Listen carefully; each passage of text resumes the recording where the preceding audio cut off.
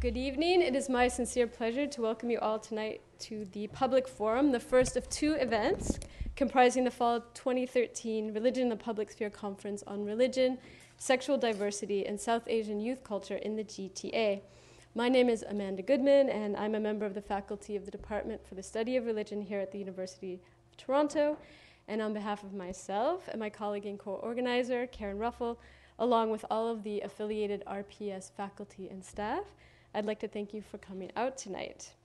I would also like to take the opportunity here at the start of the evening's program to thank our generous sponsors, including the Religious Diversity Youth Leadership Project, the Religion and Diversity Project, the Mark Bonham Center for Sexual Diversity Studies, the Center for South Asian Civilizations, the Department for Historical Studies, and the Department for the Study of Religion for their kind support of these events. Before I introduce tonight's uh, panelists and outline the format of tonight's forum, I'd first like to say a few words about the Religion in the Public Sphere, or as we call it, the RPS initiative itself. RPS was founded in 2007 to build networks of scholars, students, and community partners concerned with how religion is at play in a range of public contexts. Working with specific themes such as religion, education, and civic identities, who is a global citizen, and art and public contestation of religion, RPS has organized uh, dissertation and multi university research workshops, an undergraduate service learning course, public forums like the one here tonight, as well as several community research workshops like the one scheduled for tomorrow at UTM. And I'll talk a little bit more about that at the end of tonight's program. Uh, those workshops are all designed to bring together scholars, students, policy experts, and professionals to discuss research, policy, and practitioner perspectives. In 2012, working with the Center for Community Partnership and the Multi Faith Center, RPS won a three year grant from Citizen and Immigration Canada for the Religious Diversity Youth Leadership Project, which combines research innovation, interaction with policy professionals, community engagement, and student training and mentoring to provide opportunities for young adults in the GTA to discuss issues related to religious diversity in a way that allows them to develop as both scholars and community leaders. The present conference theme, Religion, Sexual Diversity, and South Asian Youth Cultures in the GTA, is intended to create an opportunity for U of T students, faculty, along with community partners to engage in a discussion about religious, ethnic, linguistic, sexual, and gender identity. oh my. Um, both here and now. And by here, I mean Toronto, downtown, the Peel region, the GTA. And now meaning uh, several generations into what is an incredibly diverse community that for a long time now has been um, expanding, developing, and challenging uh, Canadian values of assimilation and multiculturalism. So, we are pleased to have with us tonight five distinguished speakers from across the GTA um, to help us discuss these matters. Um, and you might just want to give a little wave out um, so that everyone in the audience can follow along the discussion. Um, Kavita Bisundio is a mixed media artist, facilitator, storyteller, and a self identified recovering student organizer. She has participated in a diversity of social justice projects and continues to engage in community building and peer support by and for queer and trans people of color and indigenous communities. Kavita currently serves as the service coordinator at the LGBT Youth Line and as a facilitator for the Peer Youth Violence Prevention Program, Respect in Action or REACT.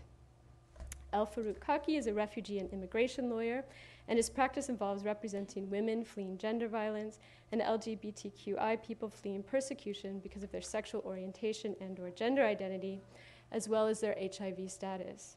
A nationally recognized human rights and social justice advocate, El Farouk has been the recipient of numerous awards and distinctions, including, and I just picked this one at random, uh, the 2007 Hero Award given by the Canadian Bar Association Sexual Orientation and Gender Identity Conference. In 2008, he ran for Canadian federal parliament in two elections for the New Democratic Party of Canada. And in 2009, he co founded the El Tawhid Juma Circle, or the Unity Mosque, as I know it. He is co founder of the Canadian Muslim Union, past chair of Africans in Partnership Against AIDS, and sits on the advisory board of Muslims for Progressive Values.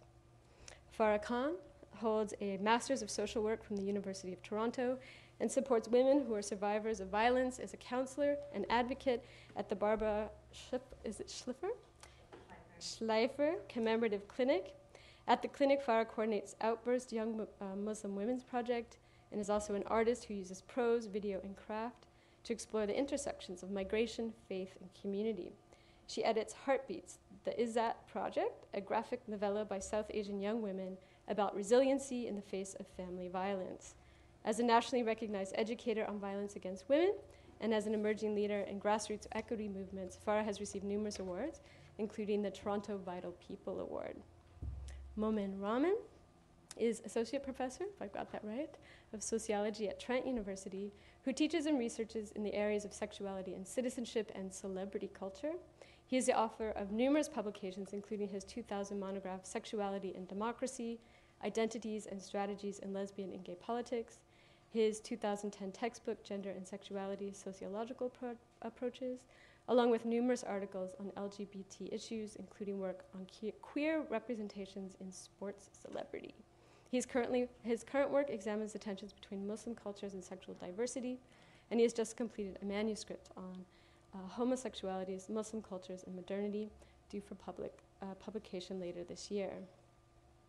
Uh, Ramraj Shivandiram uh, is a graduate of York University and has been working with queer, I think I just botched his name, but that's okay, uh, has been working with queer identified communities in the GTA for the past six years. In 2011, Ram became the Tamil Outreach and MSM Prevention Coordinator at the Alliance for South Asian AIDS Prevention, or ASAP, uh, where he provides frontline services for South Asian and Tamil speaking MSM, manages online resources, and co facilitates several support groups. Ram is also a host and producer of a weekly radio segment on CHRY 105.5 FM in Toronto um, that discusses issues of health and human rights as they relate to queer identified communities. In addition to these five panelists, I'd also like to introduce tonight's forum moderator, which fortunately is not me, but Aisha Valiani, who's currently a master's candidate in the Department for the Study of Religion here at U of, TA, uh, U of T. Before graduate school, Aisha served as a residence don for two years at New College, where she counseled and mentored undergraduate students from diverse ethnic and academic backgrounds on a variety of issues, including those around sexuality and gender. Aisha's current research focuses on religious diversity and minority rights generally, and specifically on how religious freedoms and rights are negotiated in Canada through constitutional law. My thanks to all six of you for agreeing to take the center stage tonight and for agreeing to field some tough but important questions. So we'll begin tonight's discussion with a series of quick questions and answers directed at the panelists to give them a chance to sort of unpack or demonstrate where they stand on some of the so-called critical terms, that is, uh, the constructed and hence contested terms on the table here tonight, South Asia, sexuality, and so on. And that will be followed by a more nuanced roundtable discussion scheduled to run until approximately 6.30. I'll then return to the podium to open the discussion up even further by taking questions from the audience until about 7, when we'll convene and head upstairs to the art lounge for a reception. And at that reception, we will have a short performance by the Outburst uh, young Muslim women's group that I mentioned in conjunction with Farah's work. So um, I'm now going to get out of the way so the real conversation can get underway. So Aisha, I turn it over to you. Thank you. Is this, yes. So again, thank you so much to everyone for being here. Um, this is an exciting and engaging and potentially very empowering subject. Um, and I know that everyone has lots to say on it because you all do such exciting but very different work around um, the issue. That being said, as Amanda mentioned, I'm going to ask you three very quick questions uh, just to kind of get things going. Um, so in a minute or less, and you can pass if you'd like. Um, if each of you could let me know, what's your South Asia?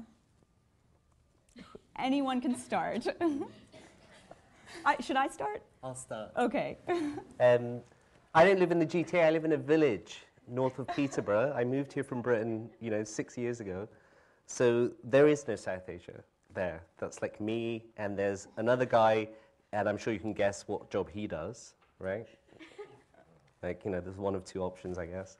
Um, so for me, it's weird because I used to live in big cities in Britain, you know, full of Asian people and Muslim people. So at the moment, my South Asia is speaking to my mum on the phone and her complaining about my brothers and sisters, quite rightly, in my view, um, and me supporting her. Um, and it's family, like that's what it always reminds me of. Great. Who's next? okay, I guess we're going in order. Um, Okay, so I have a minute, right? Okay, so uh, South Asia, when I see South Asia, it's, it's a broad term. It's supposed to be unifying. It's supposed to, you know, build solidarity, connect whatever it is that connects us all who've, you know, migrated or have ancestry from India, Sri Lanka, Pakistan, all those areas down there. There's a whole list. I'm not going to list them off because I'll miss one.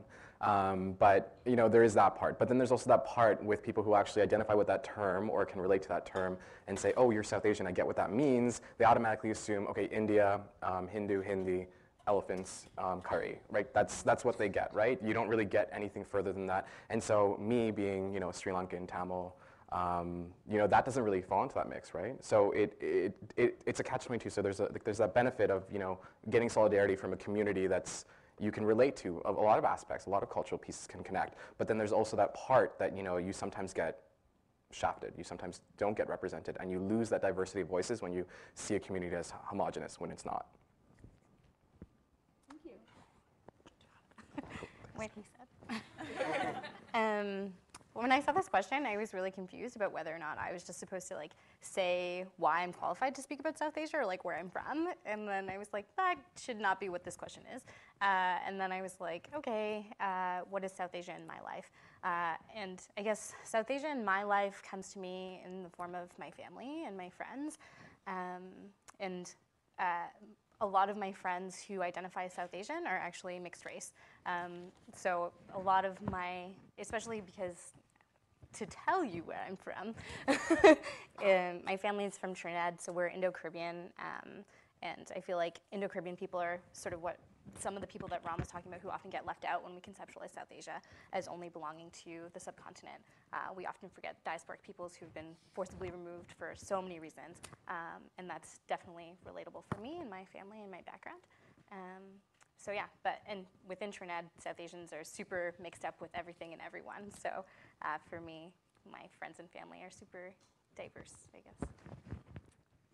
So I'm, I'm a double diasporic as well because I'm from Tanzania, I'm from East Africa. So my South Asian identity has been something that has actually developed later in life because I never really saw myself as being South Asian.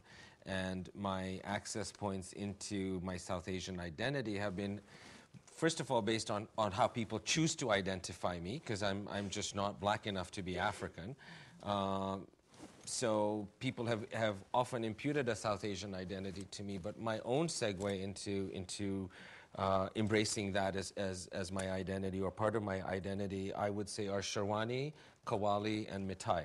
So the, the clothes, the spirituality, and uh, the sweets. So. Um, I follow up? Um, so when I think of South Asia, I grew up, uh, my family's Indian. Well, my, my dad is Indian, my mom's Dutch. And so it was a constant um, challenge for me as a young person and as an adult, where people would always, within my family and outside, be like, well, you're not really South Asian, or you're not really Indian. Um, and I'm, yeah, and I'm light skinned, so that I definitely carry a lot of privilege around that piece. And so what does that mean? And it's a constant negotiation, and also the space I take up. Um, and thinking about that also my grandmother is from Trinidad, and so it was is definitely constantly also hearing the racism within my family, within ourselves, even talking about talking about she's my step grandmother, but she's my grandmother, um, and growing up with her since I was a child, and then hearing what that meant for her to be considered South Asian, and so it's definitely something that is a constant question in my own life. Um, so I, yeah. But I think it's, for me, like honestly, it's the hand gesture sometimes. It's the way that we talk to each other in my family. Mm-hmm. It's the way that the smell, like the smell in the apartment building where I grew up, smells like South Asia to me. Like the smell of certain foods smell like my family. And the hand gestures, especially, remind me of my grandmother and my aunties. So there's certain things that just are family. Yeah, no, oh my, that was great. Thank you. Apparently, a minute can fit a lot of very nuanced thoughts. Um, so, to go on to another very large term in a minute or less, what role does religion play in how each of you understand your South Asian identity? And again, you may pass or take the question however you wish.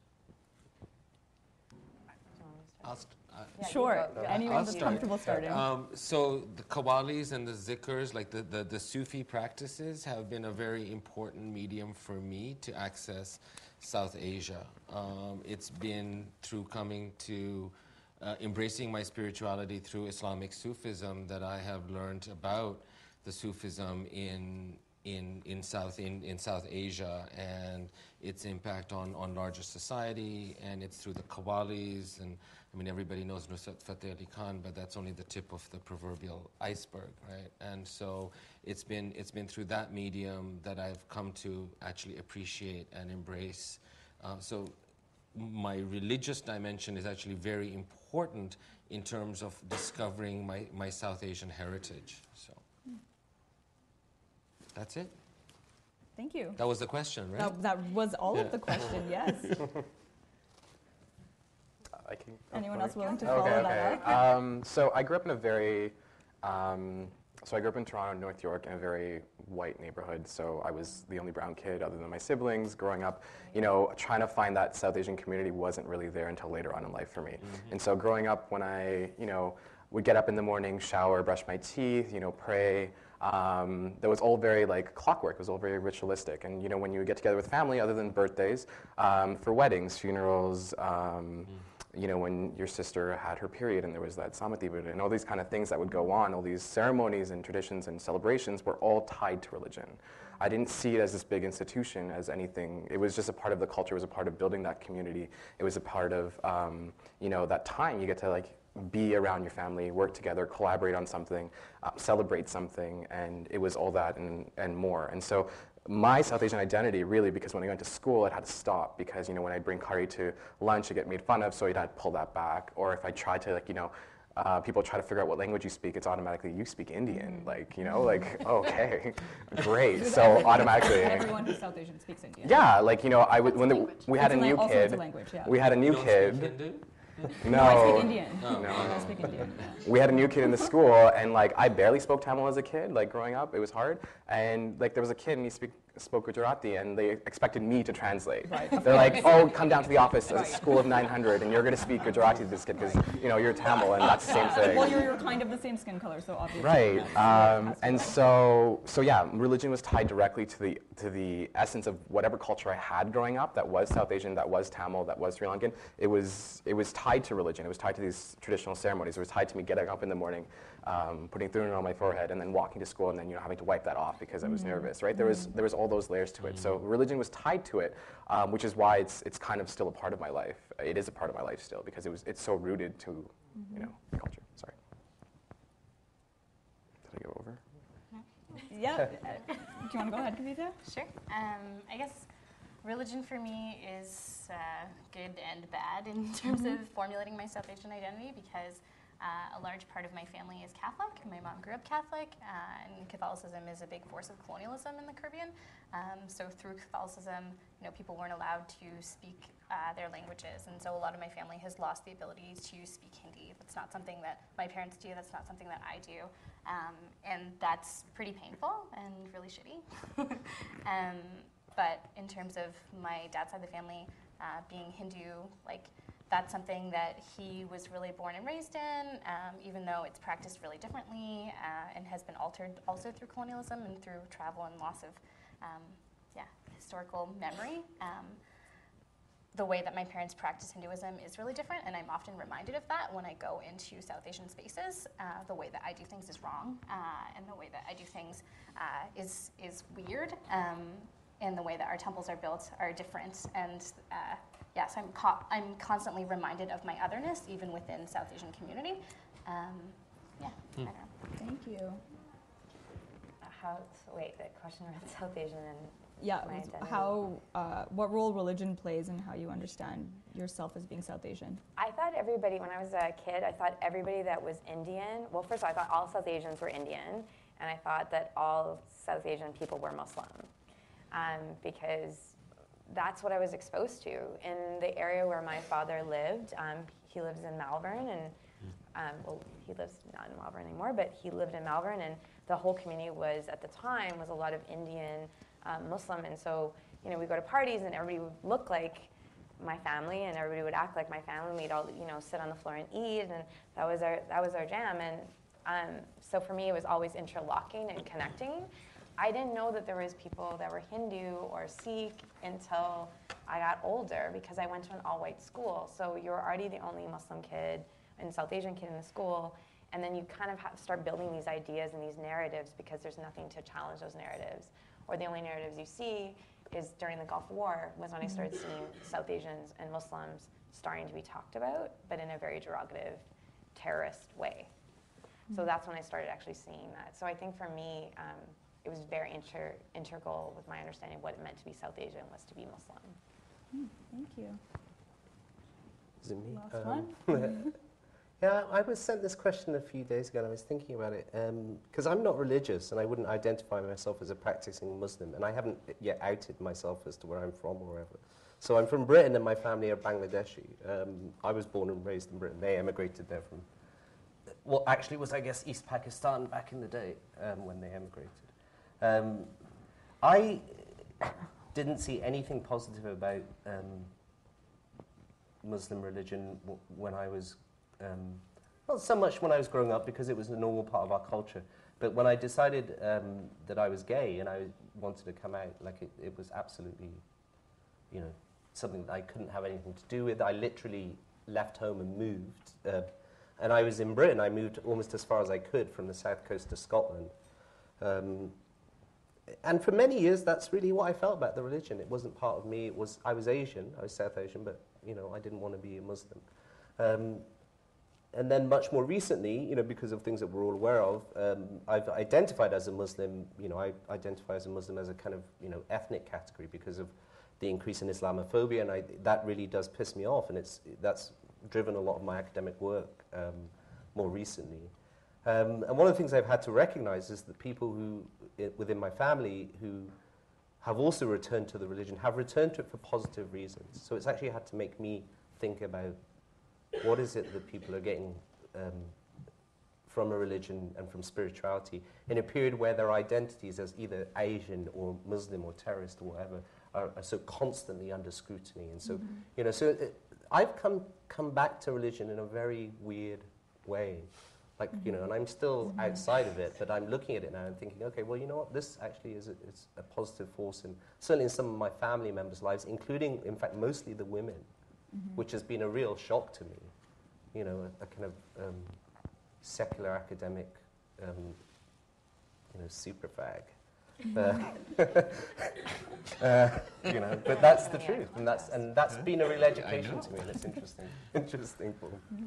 Well, thank you. A lot of very interesting points raised there about culture and identity and stereotypes, and hopefully we can actually continue the conversation after the last and final one minute uh, bang question. Um, so, kind of keeping with what you said, Farah, and what you said, Momin, about stereotypes and how and Islamophobia and how certain attitudes are formed based on what's accessible and available via the media.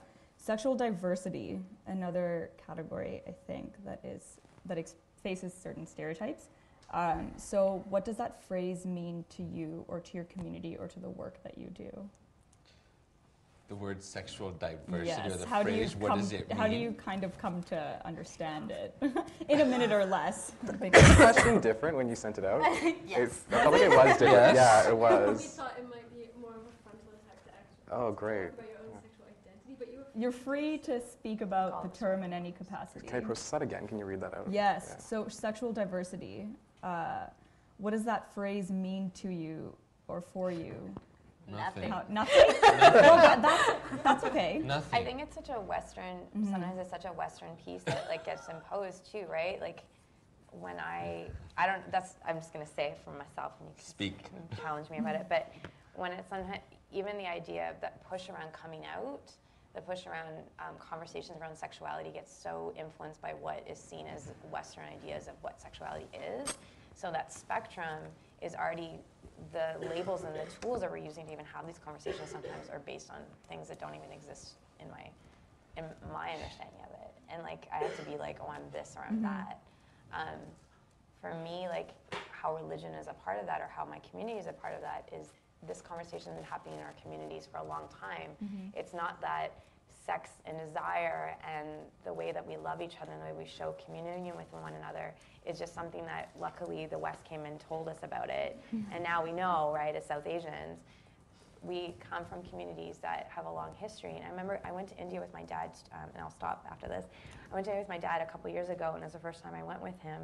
And we both had this moment where I think you've been told for so long that there's something wrong with your community, and then you see how beautiful your community can be, and how special and diverse, and how people are having these conversations. And you know, there's messed up stuff too. Like I'm not saying it's perfect, um, but it was a moment to be like, oh yeah, like we are this amazing community, and somebody else has been speaking on our behalf for a long time. Um, but in terms of sexual diversity, yeah, that even that term for me seems questionable.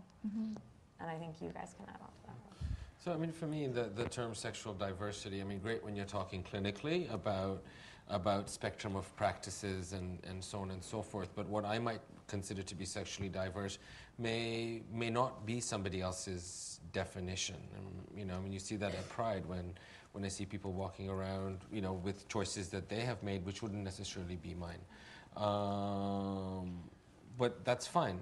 Uh, but it doesn't. It's not a. It's not a term that I own or that I possess. It describes a particular social context, um, or the fact that people have different practices or different manifestations um, of their sexuality. But that sexuality can be their sexual orientation, or it can be a matter of, of something that's that's a, that's a personal choice in terms of lifestyle or, or, or sexual practice. So it's, it's it's a rather for me it's rather vague. The original question was, how has your own sexual identity been shaped within the context of that South Asian identity? So for me, because I haven't really had a South Asian identity and I'm sort of starting to connect to it, um, for me, I tend to think of traditional communities or traditional values because what will your auntie say or you can't tell Yeah. anybody. It doesn't matter whether you're South Asian or you're, you're Somali or you're, you're Caribbean or you're whatever.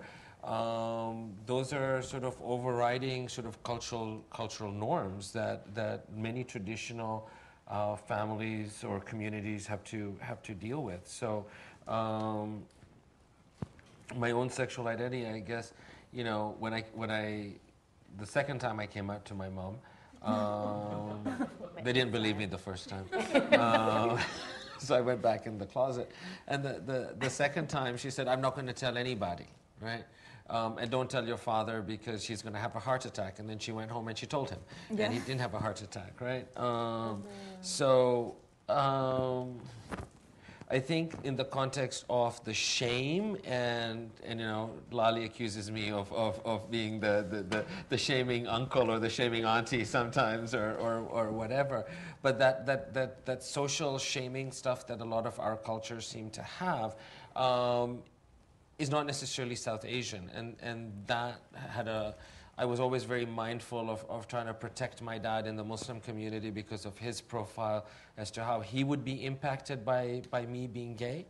Um, and I know that it has imp- that it impacted him. I know that it cost him in certain ways in, in, in the community. And at, at some point, I had to let go of that burden and that guilt that, that I actually, I think, still to some degree carry. But I really didn't have a choice about a lot of things that I have done and a lot of spaces that I have ended up in. My, uh, my mom discovered recently that back in 1993 I got a death threat from Islamic Jihad. But I had to keep those kinds of things from my parents. And it wasn't because I was South Asian, because I was Muslim. Right? So Does anyone else that was more than a minute. inclined? I'm That's sorry. okay. That's okay. I think going back to what Farah was saying about diversity, I feel like I'm really averse to it as a term because of my associations with it in relation to whiteness. Like we are considered to be diverse because white people are normal. Like the same way with like sexual diversity, it's like LGBTQ2SIAA people are considered to be like we are diverse and we are beautiful and we exist in all this multiplicity of ways, but uh, I think the way the term is often used is in relation to hetero-ness as the norm, and I don't think that that's right. And as far as I was saying, like we have existed in all the ways we've existed for forever. Like white people didn't come and make us the way we are. Like they destroyed us and actually invented things like the closet. Like people were gay before the closet existed. So that's I don't know. It's really frustrating. Um, but also, I think that like diversity with it, sexual diversity as a term or like in reference to like even this panel, I feel like uh, we're all really different. We come from a lot of different backgrounds, but there's still like no presence of trans people here, and like that's really problematic because trans people are a huge part of my community, and within South Asian communities, trans people have always existed. So I don't know. That's one aspect that I've been thinking about this whole time. So I don't know. That's problematic. Thank you. Anyone else or nope? To sexual diversity or to the original? Sexual diversity. yeah, no, no, I'm, I'm good. Okay. Yeah. I did want to just say something yeah. which kind of slightly disagrees in one way with everything that everyone else has said. um, and it's just, and it's partly this is because I, you know, I teach classes on gender and sexuality. Um, and one of the things that always strikes me is that, you know, and most of the students are, you know, early 20s, um, is that there is, you know, we, we, we need some term, we need some umbrella term, we need some way of organizing and being visible politically. And I accept that a term like sexual diversity doesn't necessarily encompass anything. But I think that's exactly because it is always related to the norm. But the norm exists. The norm is socially dominant, it's legally dominant, it's politically dominant, and not just in white culture, but in Asian cultures mm-hmm. too. And the norm is a gendered norm. It's a norm about what can women do, what can men do. Um, you know, I, I talk a little bit in my book about, you know, imagining a, um, recovering some traditions in various Asian cultures and Muslim cultures where masculinity is different. You know, where it isn't this, this kind of macho, particularly to me, my eyes, kind of a North American masculinity, you know, which doesn't necessarily have anything to do with sexuality.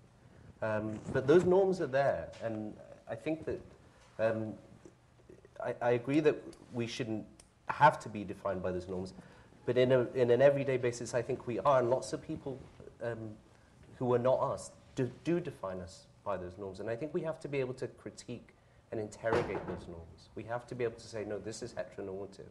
This is, you know, there's gender equality in this co- community or this culture, or, you know, that we have to have some way of doing that because otherwise, um, you know, we may end up saying, well, you know, diversity doesn't isn't really a, an appropriate term for us, but that diversity can then just disappear, right? Mm-hmm. Because we're never interrogating our culture, and you know, our, some of our cultures are patriarchal, and I don't think we should run away from that But idea. I, I think the problem is when you say, "Oh, I, you, you're sexually diverse," you know nothing about my sexuality. No, no, right? I- I You know, it's yeah. as, as a label or as a personal label to take Yeah. on. It's a nice clinical term. It's a nice academic term. It maybe even is a is a good social term, I but it's not a good political personal term, as well, right? Like I think you need to have a political. Sure, but it's not a but it's not a personal term. I don't think of myself as being sexually diverse. I think of myself as being Yeah. gay. I think of myself as being queer. Yeah. Right? That's my identity. It's not oh I'm sexually diverse. Yeah. Um, I just so and I- I just want to say too. It, there's And nobody ever says they're sexually Yeah. diverse. Yeah.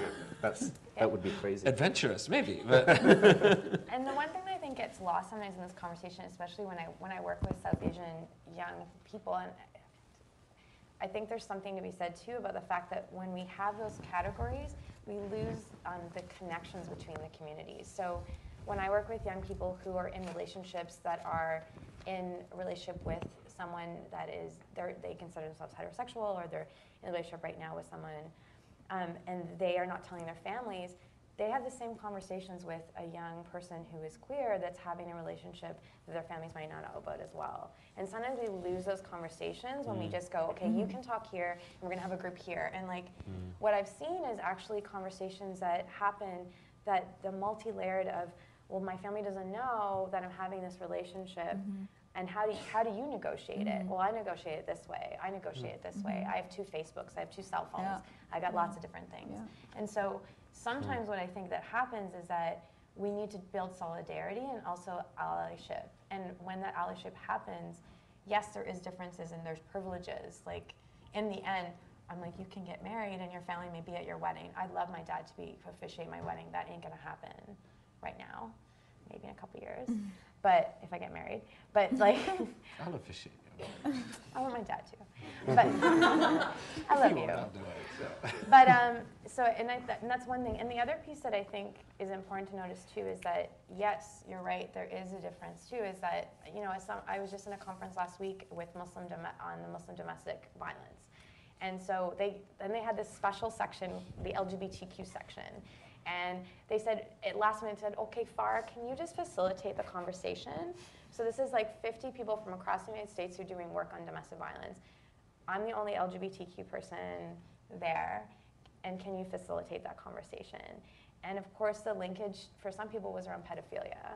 And then the linkage was a lot of different pieces, and I had to, I was quickly doing this LGBTQ 101, homophobia, heterosexism 101, but very frustrated that it gets lost out in the conversation or it's seen as a side conversation instead of a central conversation that sexuality in of itself we should be if we're talking about sexual violence and gender we have to centralize it instead of making it an offshoot mm-hmm. conversation.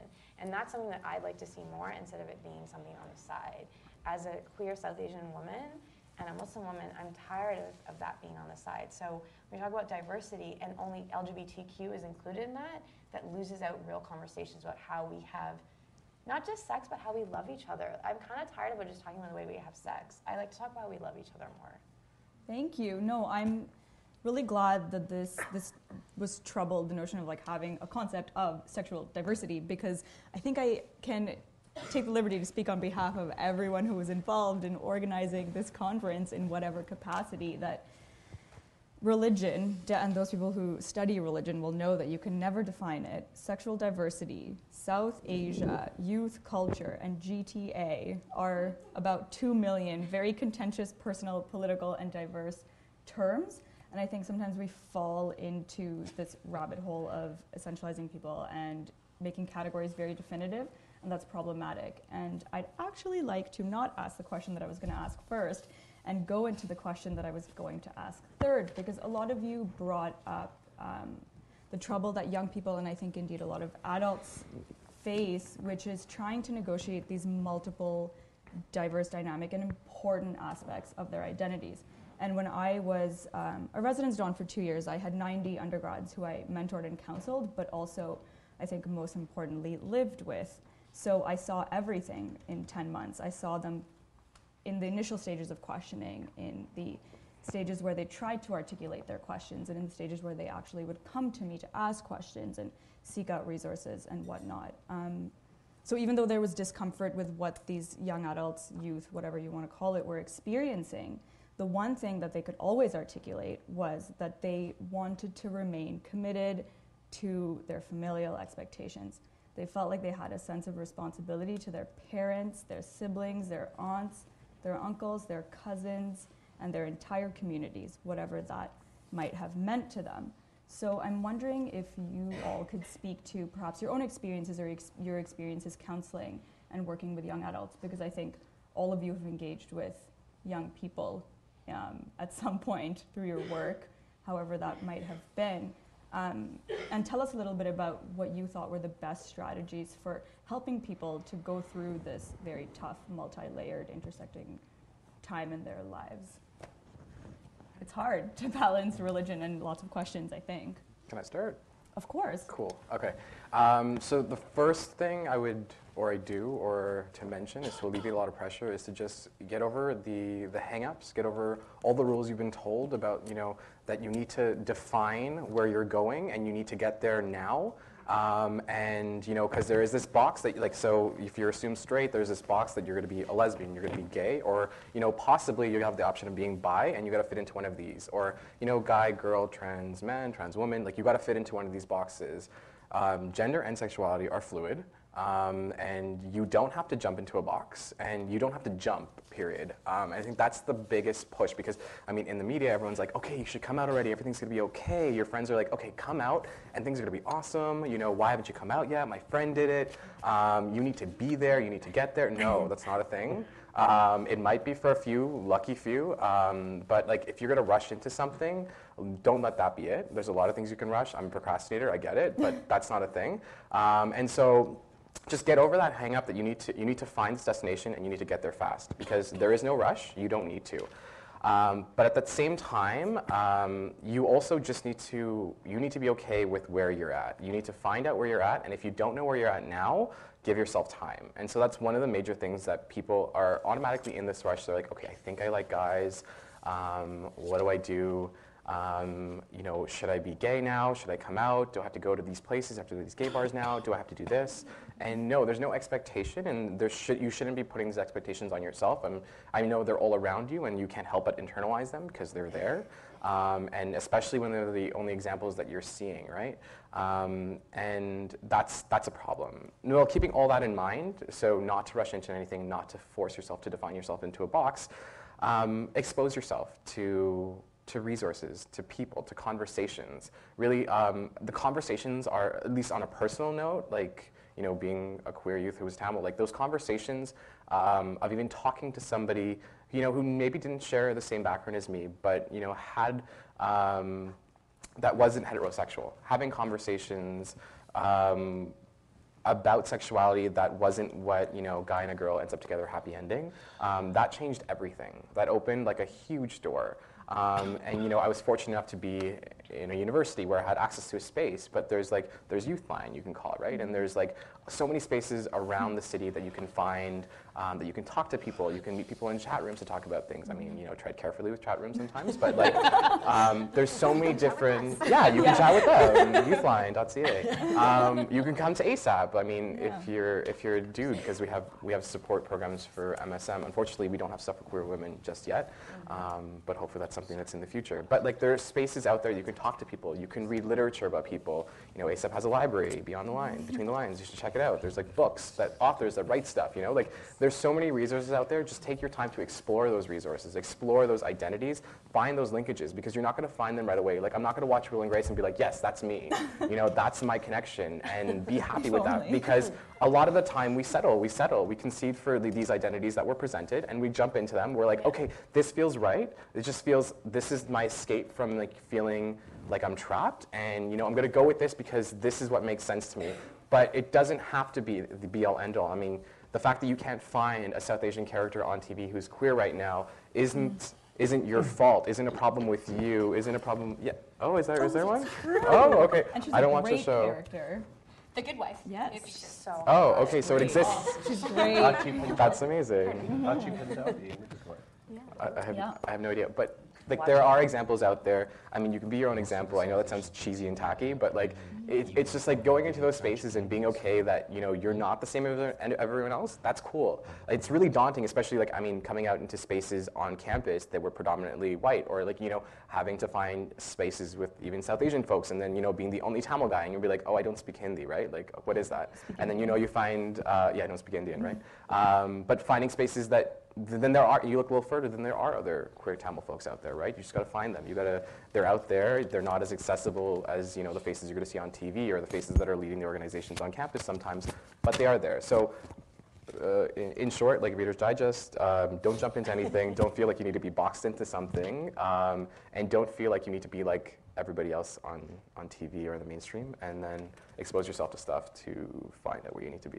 Cool. Done. Thank you. Everyone can go home. Yeah.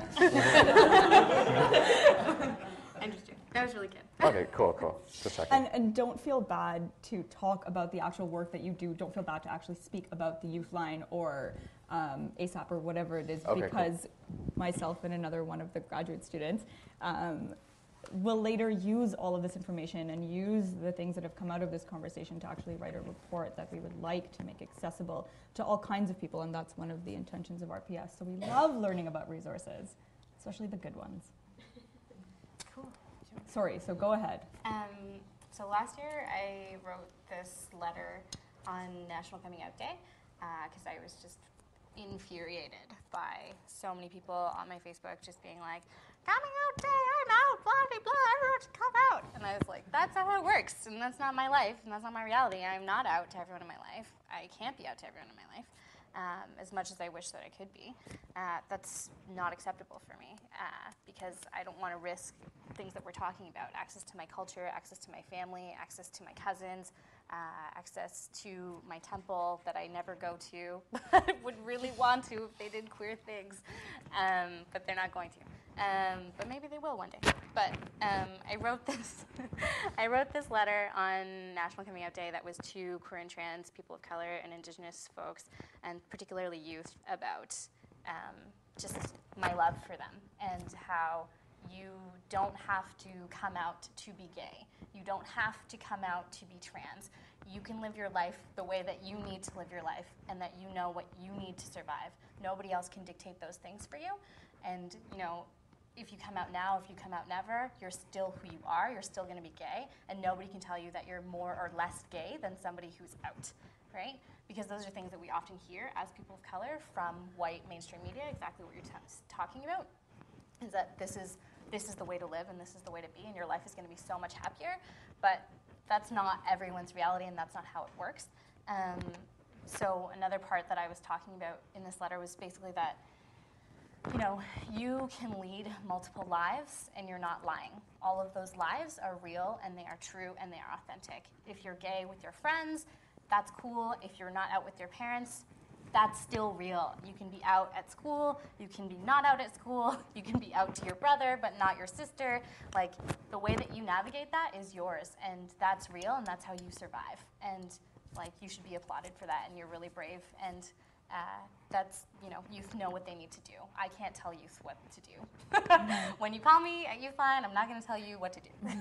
but we're going to talk about what you think you should do and what you think uh, are your options and how you can navigate those things. Um, but yeah, that's all I want to say. So I think that's true, but I think as you get older, your options tend to dissipate, especially in our cultures where heteronormative marriage is, is, is such an issue. Mm-hmm. And so my mother in the 1960s eloped to marry my father. And 30 years later in Canada, she called me up to arrange a marriage for me.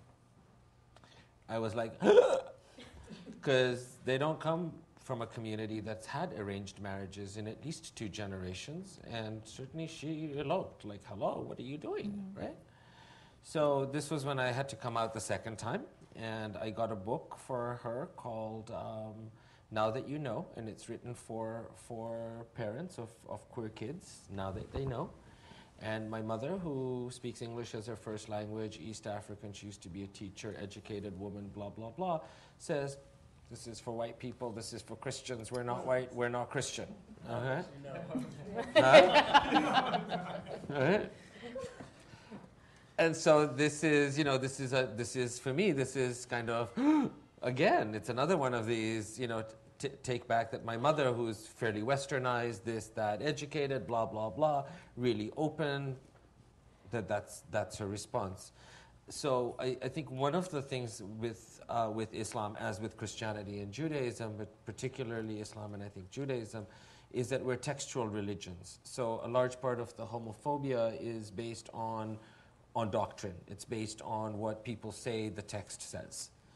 Um, so while it's fine to uh, advise people um, about not boxing themselves, a lot of the people that I encounter, so a lot of the people I encounter as um, are not necessarily South Asian, but they're, they're young, they're young queer Muslims, um, is that they have somehow um, shamed their families and disappointed their parents. So I have a Ugandan lesbian sitting in my office who's crying because when her father discovered that she was lesbian, he arranged a marriage for her with a man who was about his own age, who came from a tribe that practices genital cutting, female genital mutilation. My client was lucky enough to be able to escape. But she feels that she is actually a bad Muslim because the Islam that she has been taught was that she had to obey her parents and not shame them. Right? So I'm sitting in, and she's sitting in my office, and we're having this conversation. So then I have to resort back to text. So I tell her the story of Abraham and how God in the Quran speaks to Abraham and says, Don't follow your father's ways. Yes, you should love him and yes, you should respect him, but you should not follow him because what he's doing is wrong. So then I asked her, uh, we, you know, we walked through her sexuality, we walked through the, the whole female genital mutilation thing, and I said, So I think it's your dad that's wrong. And yes, you should love him and you should have the, give him the respect that he deserves, but he's not right here, you are. Right? But that's how I have to shift the, the, the, the narrative and the, and the conversation, is actually going back into a theology. Um, so that's my refugee clients who often have no family or they've been abandoned mm-hmm. by their families, they've had to run or flee, and so they are in isolation and struggling to find community and to find space.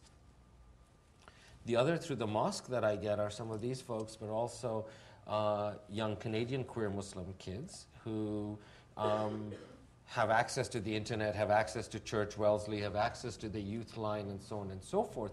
They have all of that, but they don't know how to because to deal with their families because the narrative still is that homosexuality is a, not a Muslim thing, it's a white thing, it's not or it's a Western thing, but it's not, it's not our thing. Um, and so to come up with, with, with a, with a discourse, discourse around that and a narrative. And I think that's still, you know, I, I've been struggling as to how we, um, how the mosque and how larger than the mosque, because not everyone's going to come to the mosque, and, and, and even if they do, we don't have that capacity. But how we work in, in larger in the larger community uh, to to integrate minority, racialized minority, and religious minorities into the framework of, of some of these organizations. And I'm thinking even organizations like PFLAG and, and so on and so forth, as to what resources they, that they have that can be tapped into. I don't think there's any perfect solutions. I think this is going to be a, a, a long process. So. So I'm gonna I'm gonna build on these conversations. So um, I'm gonna give you an example. So I'm a therapist, and so and I'm but people also know my identity. So sometimes I get that call from a teacher being like, "We got we got one," and I'll be like, "What do you got?" And they'll be like, "We got a gay Muslim kid. We don't know what to do." Send him to Farah. Yeah, as if I have a magic wand. But so, so I got a call once about this young person. Um, they may or they may not. They, they were struggling and, and having some questions in class around their gender and also their sexuality. So they didn't, they didn't know. They were like, maybe I'm trans, maybe I'm queer, I, I don't know, but I just have some questions. The school was like, well, in this school, you got to come out. So let's bring your family in. Her, her family did not, English was not the first language. No translator. Bring the family in. Come out to your family. What did the family do? They're like, you're going back home right now. Mm-hmm. Because, and not because the family was violent, not because the family is aggressive, but they were just like, what is happening in this school? And so when I hear this piece around, you know, when we're working with people that are vulnerable, and I think young people are vulnerable, and because of the fact that economically, when a young person is leaves home and they're 18 years old, we have a housing crisis in Toronto. When I when a young person mm. leaves home, I have a hard time finding them housing. We have shelters that are made majority for young white youth that are maybe queer, maybe street involved, different things, but don't understand what the needs are of diverse. Well, I'll use that word diverse. um, but in the you know youth, we also have an issue where we have a job crisis where we can't get jobs for these young people. So then you're setting up a person. So we need to rethink about how we have conversations with people and respect the fact that yes, some people are like, I want to be out and I want to do my thing, but other people may not, and not pressure people to put themselves in a position of further vulnerability. And so that's something that I think about as someone who works with young people who are experiencing violence. Um, so that's something that I raise as a flag. The other piece too that I think about is um, now with media conversations, we our stories don't even they start before we even get to that story. So there's a narrative that continues about South Asian communities around honor, right? Around this idea that um, honor of our families carries within our body. And I can say that when I was growing up, that was definitely a conversation that, you know, the things that I do affect the collective, right? So when I do something, it affects like my cousin's right to get married or someone else, right?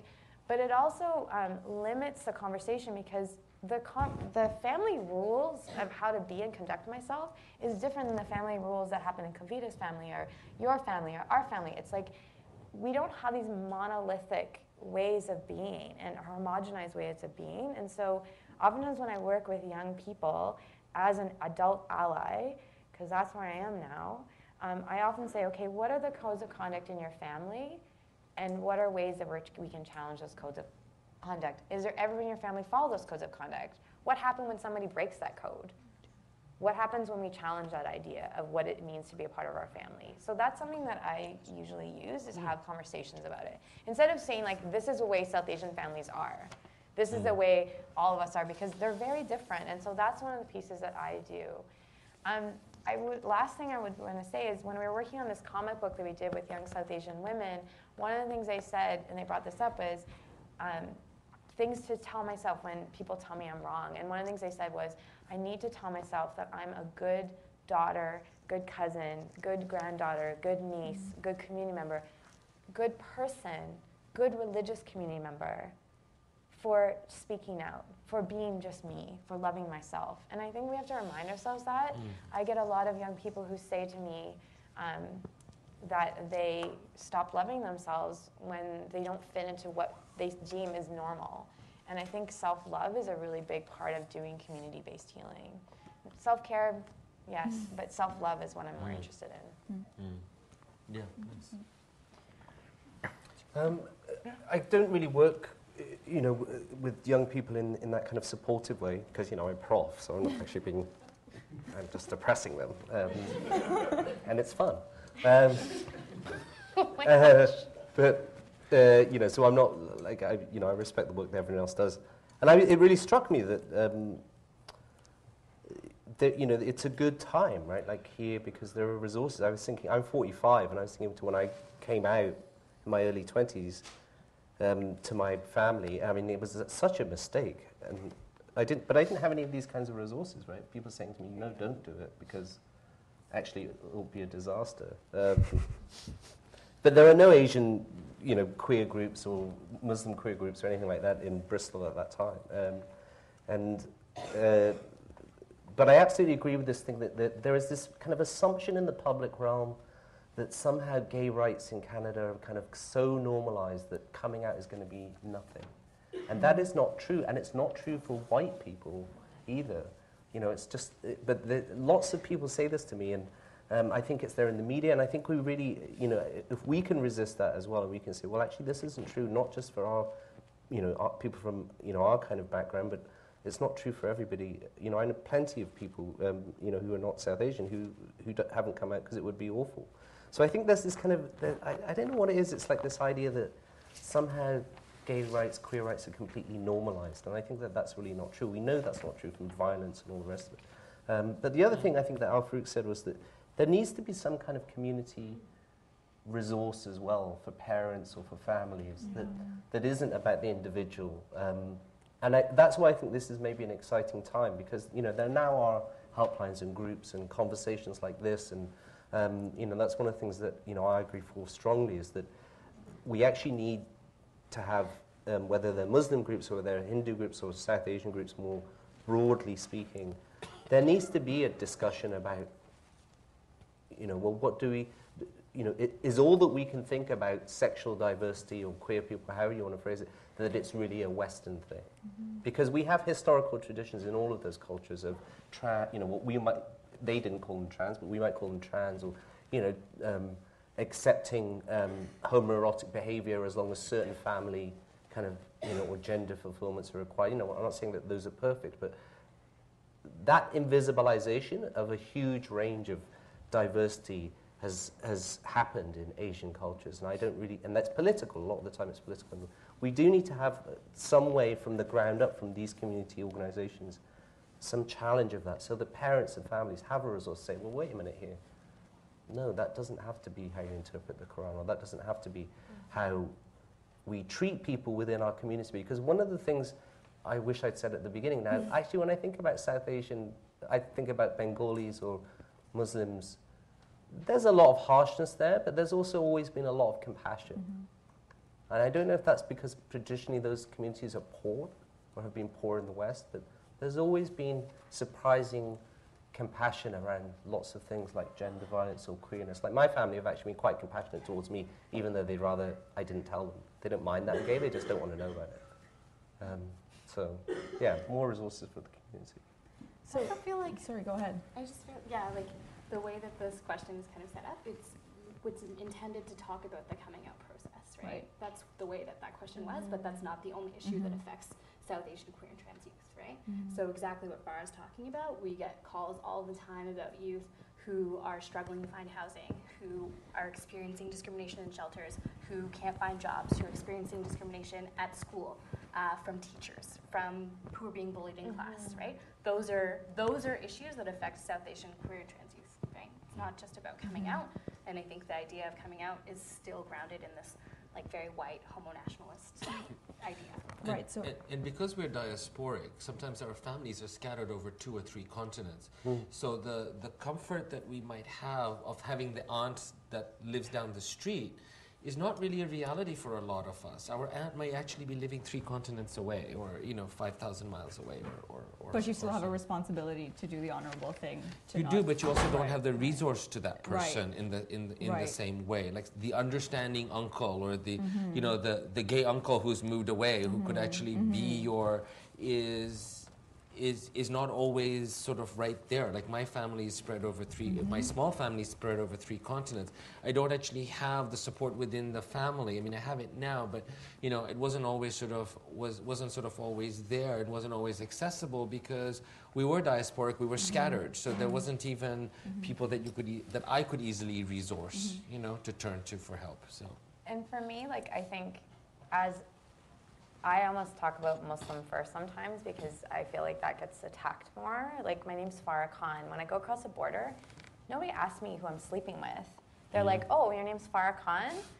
Oh, come, you just come over the side, right?" Special security screening for you. Yeah, yeah, It's always Random. ran- I, I'm always Randomly random. selected. right? Random screening. yeah. So for me, like I think it's really important what Kavita brought up is that the fact is is that sometimes it's not the, the main piece and it become for some people it is a central essential piece, but sometimes there's lots of other things that we're dealing with and we need we need services and programming that really looks at a holistic person um, and also recognizes that like that families do that there's not one way that families react to this and i don't want to create this one way that all south asian parents are these horrible people. My dad my dad would send me letter my dad excommunicated me for a while and then would send me these emails that were actually really beautiful. And um, he used to say things like it's devastatingly heartbreaking to be separated by separated by someone you love. And like i was like oh my god. Like my dad would send me these like love letters because my dad loves me. But he's like shoot like how do i love my daughter when i've been told for so long that this is wrong? And so we need to also create spaces especially you know as i think south asian men get really vilified in the media and are created as these terrorists or violent people that when when a youth is coming out process or process of just self-love let's forget like just self-love like loving whoever they are and whatever they're at that moment um, oftentimes what we get back is we hear from counselors or services they're like oh well they're from the south asian or muslim or sikh or hindu community. Oh we ought to be more worried because their families may try to kill them and all these like narratives we need to actually challenge that and create spaces to be like maybe our families may not. Maybe they will be violent. Maybe they will do really messed up things and that's a reality for some of us. But there's also a reality where parents need a mourning and grieving period so i love the idea of more supports for families. Right, and like on that note, just for as we head towards our last question, um, all of you work. You all do incredibly important work. You know, you're activists. You're you work with youth. You work in certain communities. You work within your religious communities. But I think in in many ways, you're all educators, and you all engage in a very real way with the people that you work with. But something that each of you have mentioned, Farah, you mentioned about the school, um, you know, the hotlines. There's there's certain expectations and perhaps that might be just to throw in another big word because why not we are we you all work within secular institutions. So just to speak to what you again mentioned Farah, maybe each of you could reflect on this quickly even though it's a huge question. Um, what do you think would be the best strategies for engaging with not necessarily even the person that you're counseling, but families and community members and allies to educate and to support, whether that's within an educational institution or within the framework of your hotline or within a, you know the legal setting. Like, how do you, how would you ideally, this is very positive, but ideally see education work being done with families and community members so that they can be more supportive, but also learn, right? Because there's a huge learning curve for everyone when you're addressing these issues. I think that's a really hard question. I know, I know. Can you Um, repeat that? Well, really, just what ideally would you like to see happen looking forward? Um, whether it's within policy or it's within ac- the creation of actual resources within an education institution, within legal institutions, within community services that would support not just individuals who are questioning or developing their identities, but also their families in a way that understands religious diversity and um, different religious lived experiences. I can start with that if you know. Oh, yeah, um, Please. Sure, while we come up with answers. Um, well, I just finished this book, and at the end of it, I talk about um, the final chapter is actually called Beginnings, because I'm talking about, you know, how are we going to start to remove homophobia from, you know, um, as a kind of defensive part of Muslim cultures, and how are we going to recognize the fact that queer cultures, queer politics, quite often mainstream queer politics, actually participates in Islamophobia. Um, you know, so how do we kind of challenge those things? But one of the things I think is is very important is that that our, you know, and I'm I'm saying this very broadly because I don't belong to all these all of these communities, but our communities need to produce that um, perspective and experience themselves, right? So we need to have more visibility for particular groups, maybe even you know, there needs to be, um, you know, more uh, forums like this where there's research published or summaries published. And um, I think it's when you have these, and particularly kind of different types of information coming out, but from information that isn't perceived to be kind of imposed on us by, you know, other groups, right? So I'd, it's great when, you know, Pride or queer organizations have um, support groups or um, try to acknowledge an issue about, say, racial diversity or whatever. Um, but the, we, we can't seem to imagine the other side of that, which is, you know, why aren't mainstream South Asian groups moving towards that? And I think that that's where we really need to be to, to not o- only own this, but to do it effectively. And that's a huge, huge issue, but you did say ideally. Mm, ideally, Um, so with a big grant. but I don't think that that happens unless um, you know young people um, get involved in it. Um, you develop appropriate resources, whether they're educational materials or they're just knowledge, or it's stories, or um, and you know there is there is still this thing that we can we can understand reactions um, from within our own community better than outsiders can right? Like, so, um, you know, I would be able to, I'd be able to relate more to sort of Bangladeshi, you know, Muslims and probably British Bangladeshi Muslims than, say, you know, um, Tamil people who are immigrants here or people from um, Sri Lanka. Um, but those communities themselves, however they're defined, if, I think those resources and visibilizing those resources so that we're not um, dependent upon um, you know, kind of add-ons or, or, or, you know, like the, you're just this kind of sideline um, thing. Uh, like, you know, one of the things, this is a very boring academic thing, but I'm involved in a queer caucus in an international studies organization.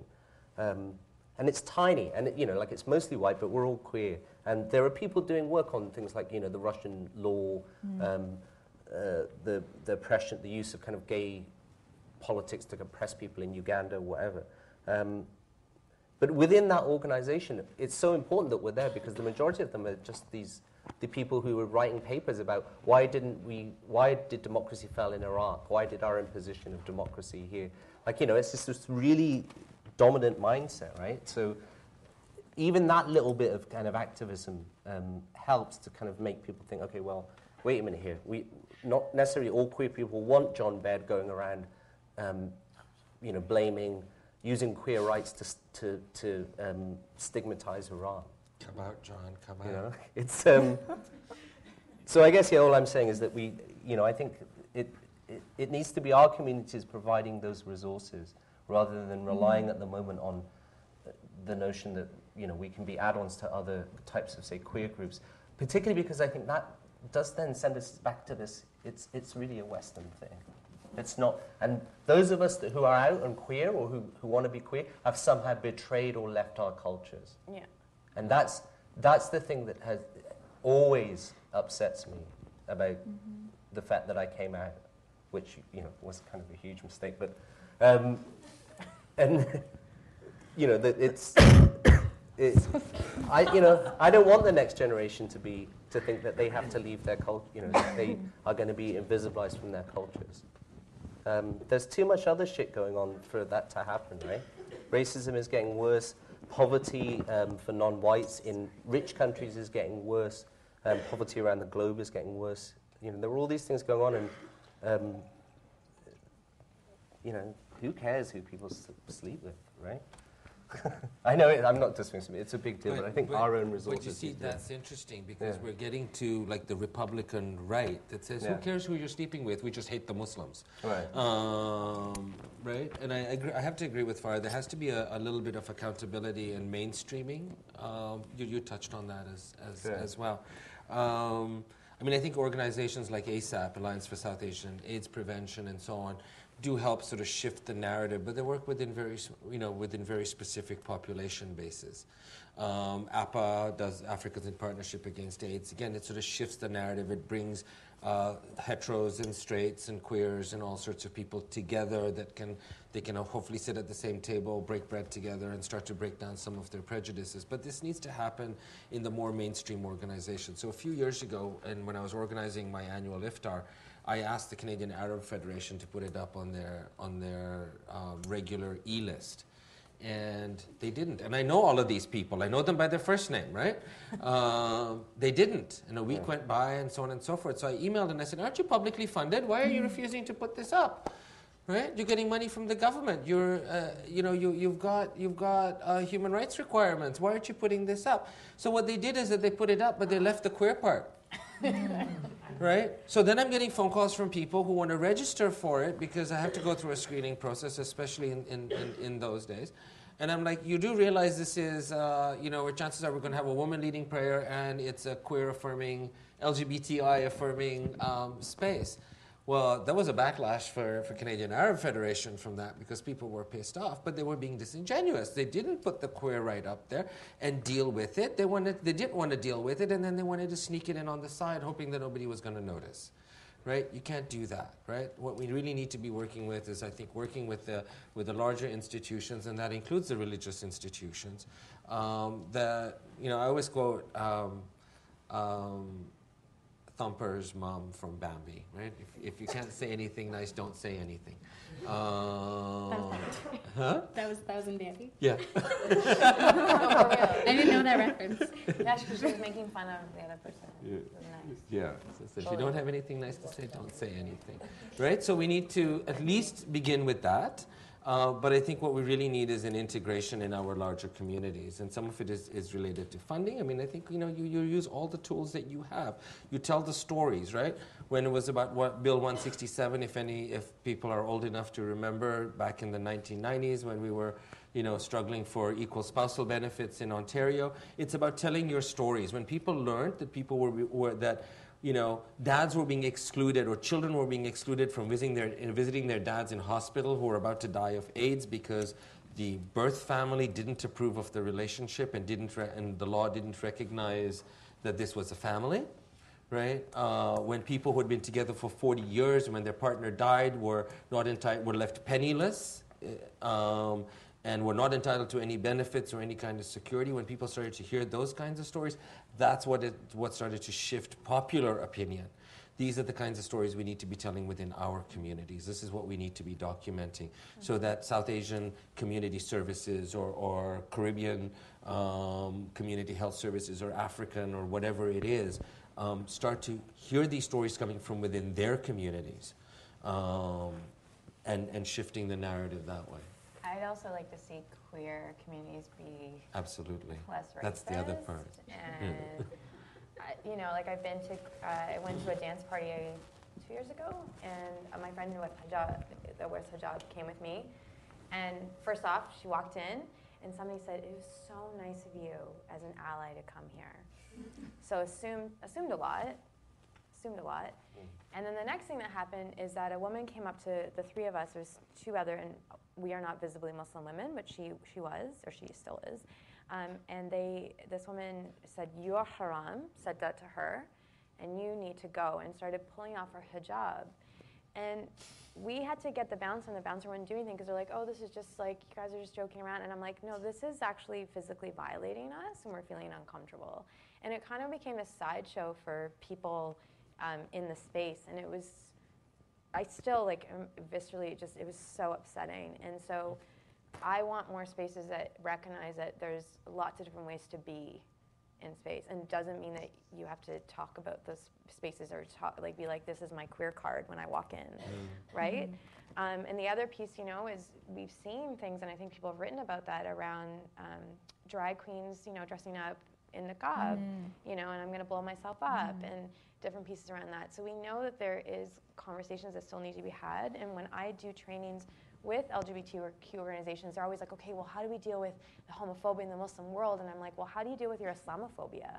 And I want to know if I'm going to send a youth there that you're going to be working on your Islamophobia and your anti-Hindu and, and understand what Sikh youth need and what, understand what Caribbean youth, youth need because you can't just expect me to just check our community around our homophobia and transphobia and not check yourselves around your racism. So I think for me, it's like it's a very much a give and take conversation that needs to be happening and continue to happen because I don't think we're still at the place where we're still we're seen as sideline. We're seen as like we bring the diversity to the LGBTQ community sometimes and asked to speak in that you know that special one person, and that can't be the way either. You want to go first? Sure. Okay. Um, I guess I think when we're talking about working within secular institutions, I don't think that that's a thing. Like, I don't think education is really secular. I think that like education and law and all these other institutions are really informed by Christianity and by like white hetero patriarchy, right? So, like when we're thinking about how we work within those systems, it's similarly to what Farah was saying about like give and take. Like where we like it, I feel like sometimes we talk about those institutions as if we're outside of them, as if like we don't belong to them or they're not ours for taking or ours for changing, but they are and like we have a stake in them and there are a lot of people who are working within institutions to dismantle them or disrupt them or change them from the inside and change like change their transphobia, change their uh, homophobia. Um, and I think like I don't know, like when you're talking about ways that we can change that and it's like a give and take and changing our racism, I guess I think about Youthline where I feel like I'm really, really lucky and like really, really blessed to be a part of a small tough staff team, which is hard at times, but like to have a really amazing boss who is like also South Asian and she's Tamil and she's really fierce, and to also be working alongside other Caribbean people, uh, like our other coworker is uh, Afro Caribbean, and the three of us, you know, we tackle racism and transphobia and homophobia as much as we can every day, and try to make that space safer for uh, Indigenous youth and queer youth of color. Um, yeah. So I guess like seeing us and ourselves represented in the spaces that we want to change is a part of that. Um, and yeah, I don't know. That's all. Thank you, Cool. Rob. Want to take it away for the last Yeah, few minutes? sure. it's a lot of pressure. Could you repeat the question? I'm so sorry. Right? Because like it, there was a lot of things mentioned, so I kind of lost my focus. Yes, yeah. understandable. Um, essentially, just Make it up. I yeah, whatever whatever you want to talk about. Um, no, ideally, how you'd like or what you'd ideally like to see happen to continue to educate people who might be questioning or exploring certain aspects of their identities, but also their allies and their families and community members. The best kind of educational model or resource. So what can change with the Yes. system right now? Okay, Yes. cool, cool. So I'll throw a bunch of things out there. Um, one, and I'm probably gonna like plagiarize everything that everyone said, so just you know deal with it. Um, so narratives is one of the things. Um, you, uh, somebody mentioned narratives, and I think that's a really, I think El Farouk, you mentioned it. Um, it's a really important factor, but I think we have to always also be aware that um, not just showing like the worst case scenarios, showing a lot of strength, right? But I think we're all talking about a lot of issues that are going on, and we're also talking about you know how we can help youth. But we also need to acknowledge the fact that you know there's a lot of youth in the audience, or people that have you know surpassed youth. Um, you know, the, and Apparently, surpassed 18 to youth 35. at 18 35 now. 30, So some people are still in there, but Yeah. You survived, right? You survived. You got to this point, and I think we don't acknowledge that fact a lot of the time. That a lot of people did get through because it's it's not a nice place outside. We did get through a lot of things. You know, layers of racism, layers of sexuality, layers of gender that you know affected us and the way people perceived that. And there is a lot of strength out there, and people telling those stories about their strengths and how they got through stuff and how they dealt with stuff is really important. And I think we we often look at what the problems are and how do we address these problems. We don't look at the people who have actually got through those problems and how they got there and you know what they did and celebrate them for that because you know they got there and then we just kind of forget about them. We kind of forget that happened. So that's one thing. Narratives are like essential. Um, the other thing is funding. So when you're looking at funding, and this is one of the problems we run into at ASAP, right? So we can get funding because you know gay men or men have sex with men are represented in the epidata for HIV and you know they're one of the populations that are disproportionately affected. However, we can't get stuff for women who have sex with women. So I'm at WSW populations. Why? Because they're on the data yet. So we're waiting for it to be a problem before we can find solutions for them. So why? We can't identify the fact that you know there's stuff going down, um, but we have to wait for research. And who's putting that research out? Who's going to be looking at that research? Whose um, interests are um, are on the table when we're saying, okay, let's start a research problem, let's write a grant.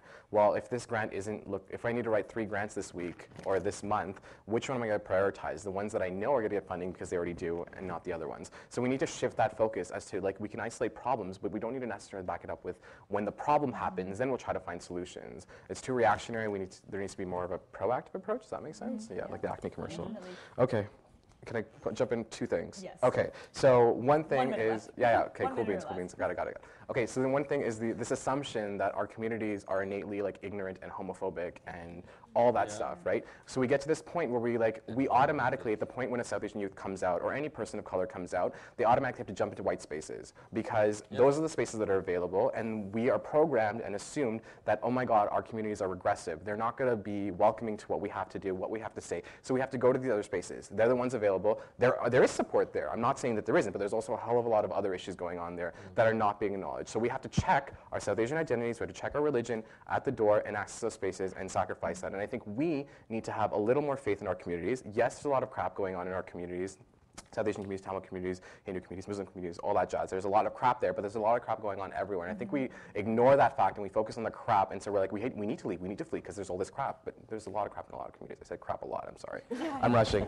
Um, but our communities can be exclusive. Yeah, I really did. Our communities can be inclusive if we give it a chance, and we need to build that internally. We need to build that inside, and we need to stop looking outside for solutions and giving like other groups and saying, hey, you know what? We have a problem here. You can get funding out of that, and this is going to happen, or you can go here, and then this is going to happen. You're supporting a larger issue that really doesn't support your interests. So look within the community, because a lot of community organizations, a lot of community members doing stuff like with little to no money, or some with funding, and some you can organize. You can figure that out. So that's a space for that. Sorry if it, you know, yeah.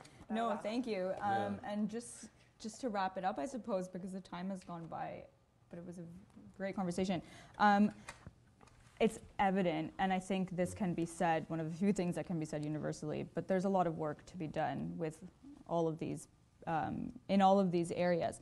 But that being said, again, each of you are testament to the fact that work is being done. So just quite literally, in a minute or less, um, I'm hoping that you can each speak to an experience or an encounter that you've had uh, that just shows that work is being done and that people do feel supported.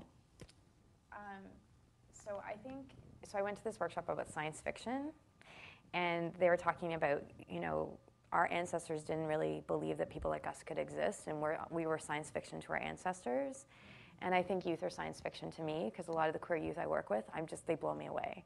And so one of the young women, I met her when she was 16, and at the time her school was like super worried about her, and they were very much focusing on her sexuality, and she had a lot of other things going on in her life.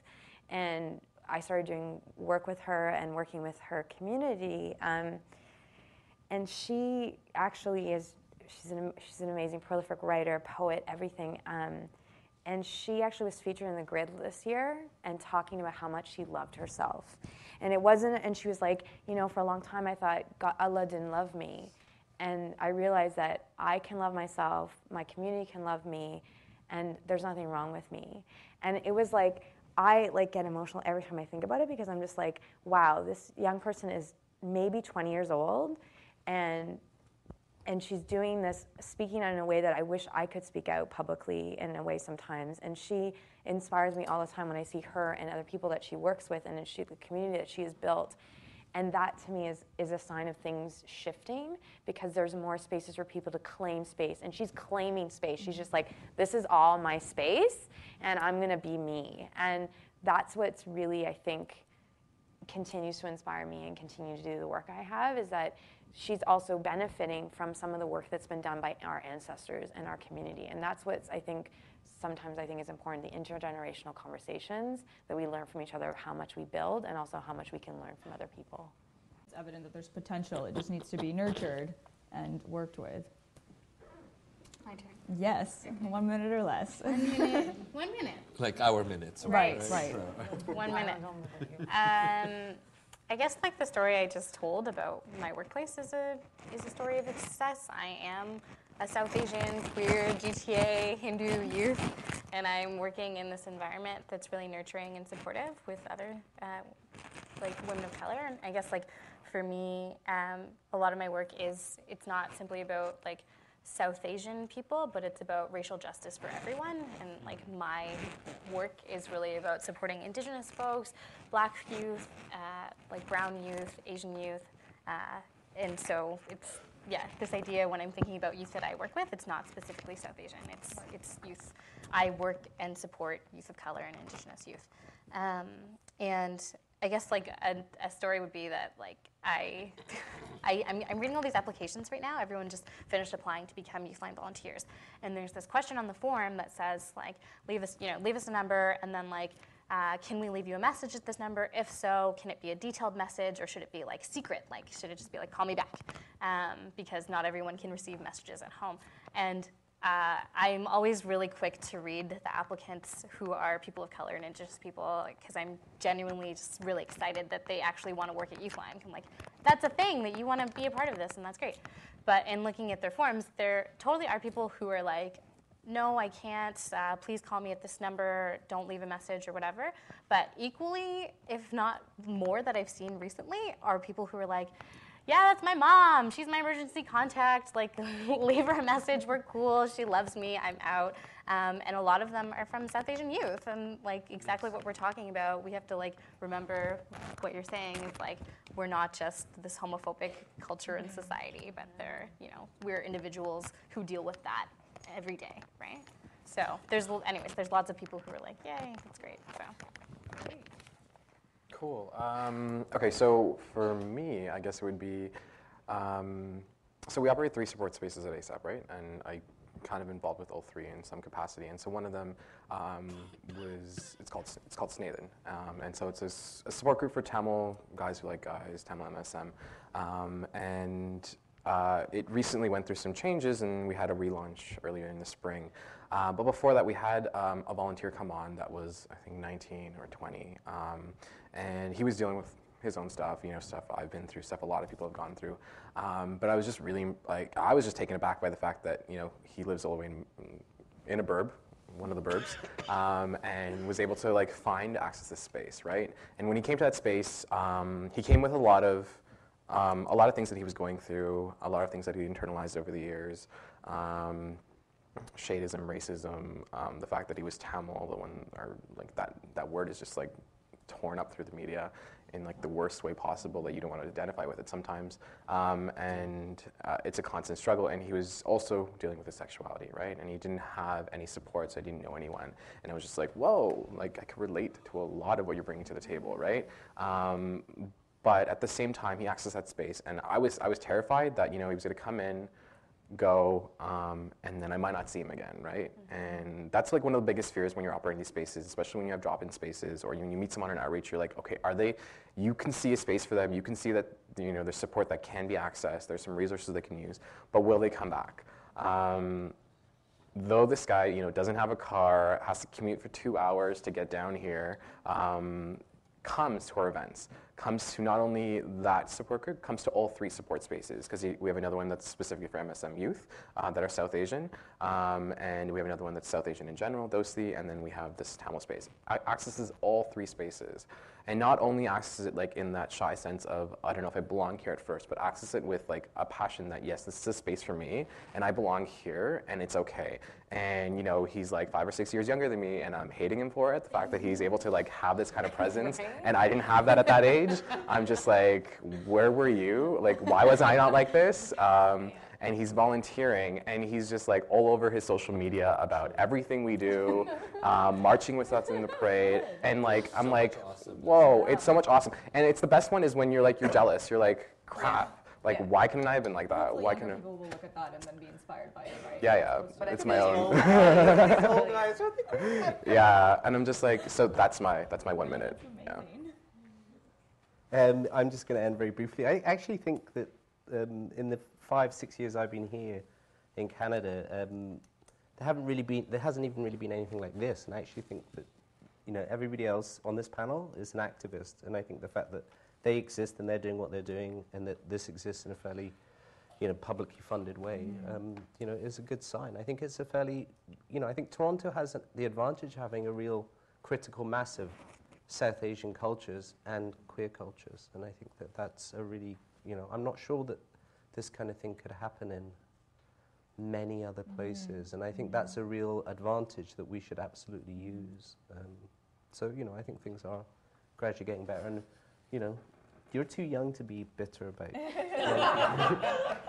He's too young and beautiful. when I was coming out, if I saw another Asian person in the bar, we'd both hide because we'd be like, "Oh my God, is that our cousin?" Yes, Yeah. that's my Yeah. experience. Yeah. We're, we're You're gonna know each Yeah. other. it Yeah. Okay. Yeah. Okay. Well, on that note, thank you so much to all of you for being here.